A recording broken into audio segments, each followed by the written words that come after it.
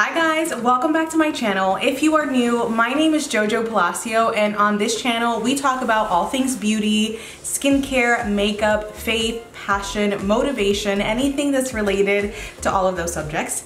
And we are here today to talk about a transfer proof foundation makeup routine. Looking through my videos and scrolling, I noticed that you guys really do love that subject and let's just be real Masks are not going anywhere anytime soon. I am a full-time nurse and I know it. I really do advocate for using them and just protecting yourself and those around you. Um, but I wanted to show you guys a full coverage, high-end version of this. I also want to show you a drugstore version of it, so comment down below and let me know if that's something you're interested in. Um, before we get into this video, I want to go ahead and show you in the intro that this is truly a transfer proof situation. So this is a clean tissue, nothing on it. We are gonna go ahead and pat this all over.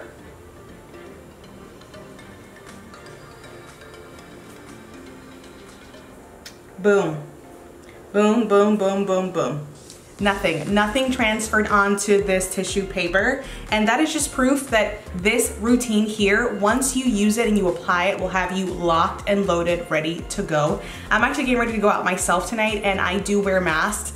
And I feel like this technique, when applied in these steps, will truly guarantee you a transfer proof situation. These products are some of my favorite high-end products for these type of situations. Plus, on an everyday type of basis anyways. So I hope that you guys enjoy this video. If you are shocked, just like I am, keep watching this video so that you are able to learn on how to make your foundation transfer proof, as well as like the video and comment down below. Tell me your thoughts, tell me what setting sprays you've tried this technique with and how it worked out for you. So let's get started. All right guys, so we're gonna start with eyes already done because we're focusing on complexion today. So ah, I'm so excited to go through this transfer proof makeup moment just because I know that you guys really did enjoy the last series that I did on this and I featured both drugstore and high-end and I'm thinking about repeating that. So comment in down below, that way I know that you guys are interested in seeing both options. Today we're doing high-end transfer proof foundation. Now, let's talk about skin prep because skin prep is absolutely important when it comes to transfer proof. Your makeup needs absolutely not only to look good but to wear well um, a good base. So I've already got my moisturizer on and now we're gonna use our primer. So we're using two different primers today because I'm combination skin. And combination skin just means that I have a little more uh, pore oil development in my T-zone and then I've got some dryness going on towards the outer perimeter of my face but this will help me address both. So my go-to primer for oil control, for pore control is this Dr. Brandt Pores No More. It is the best.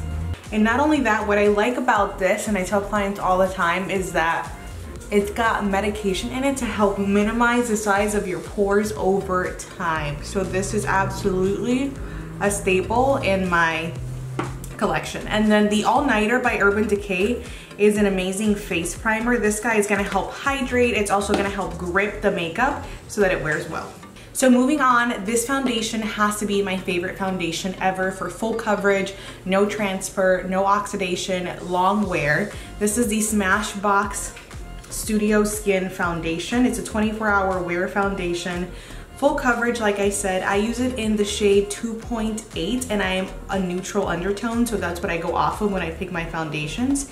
Now, this foundation on its own, it's pretty amazing, but Today we're to be trying a little TikTok hack moment and we're to mix it with my Urban Decay All Nighter setting spray. So this combination here, it's what's going to make your foundation truly transfer proof.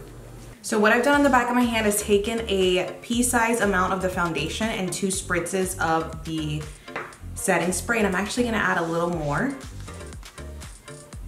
This foundation, again, on its own is 24 hour wear. It's got really good coverage. What the setting spray is gonna do is just gonna help further the wearability and the transferability of this foundation.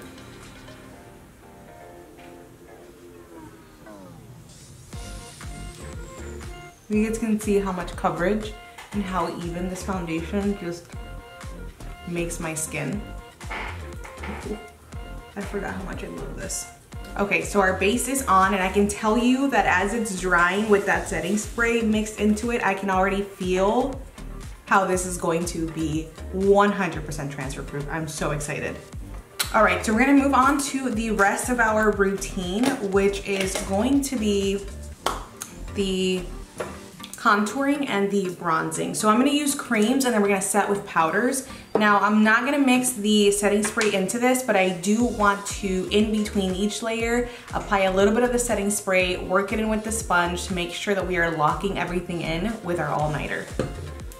So this is the Milk Makeup Flex Foundation Stick. I use it in the shade Medium Tan to help me warm up and just kind of bronze everything up. My foundation, 2.18, isn't necessarily the best shade for me when I'm tan. This is the Fenty Match Stix in Mocha. I love this as a cream contour. It's so good. I'm gonna use a buffing brush by BF Cosmetics to help blend this out.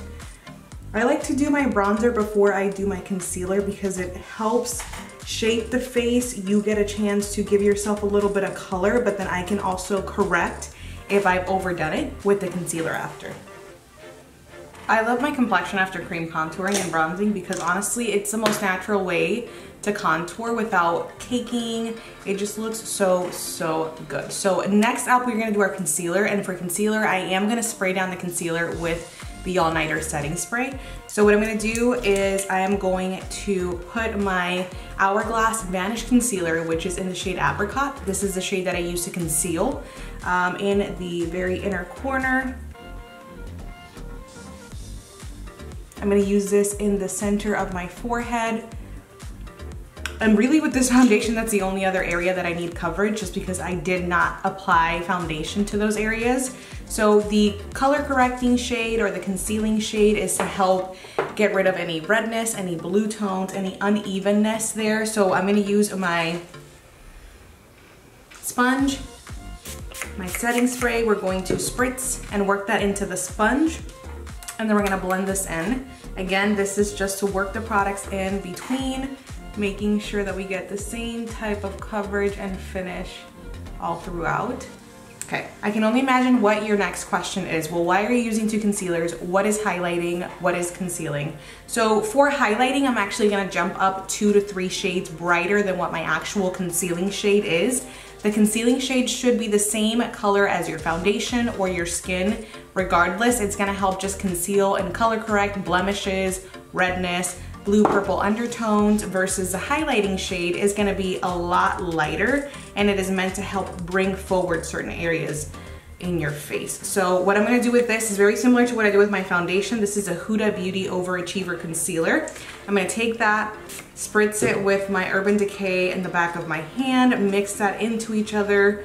Again, this is a very good full coverage, long wearing concealer anyways. I don't wanna waste any.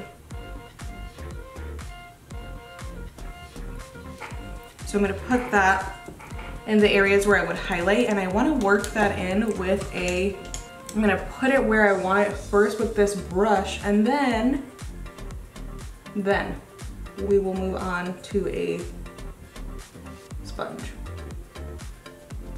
So to highlight, I want it to look like there is a nice glowy orb following me around and it would hit the high points of my face, which are cheekbones, forehead, chin, and nose. All right, so next I'm going to use setting powder. I'm gonna use my Hourglass Mineral Veil Setting Powder. I'm gonna put this very lightly in my midsection just to help make sure that everything is where it's gonna stay where it's supposed to. Using a sponge.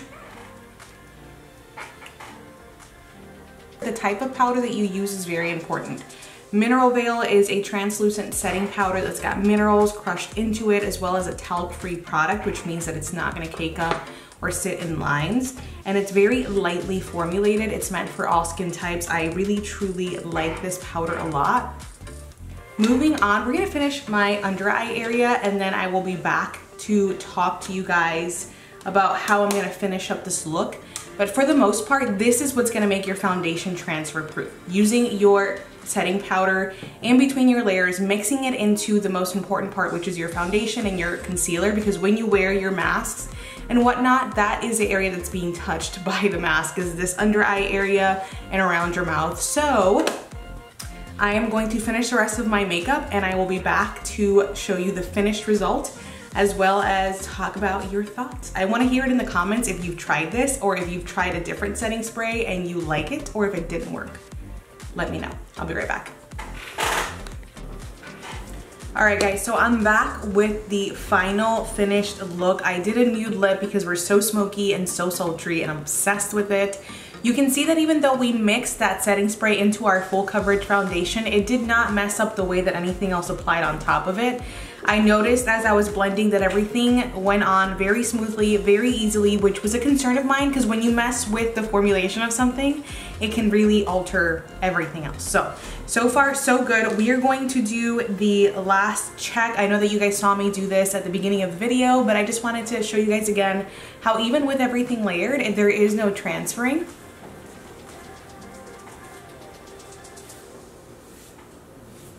Clean tissue paper I'm not gonna put it over my lips because clearly it's gonna transfer on my lips, but clean. So that is my transfer proof foundation routine. The products that we applied over it are not transfer proof. However, I did set with my Urban Decay All Nighter setting spray at the end just to make sure that everything was as solid as the base. So I hope that you guys liked this video. Hit the thumbs up if you did. Don't forget that I want to do a drugstore version of this, including a drugstore setting spray, drugstore foundation.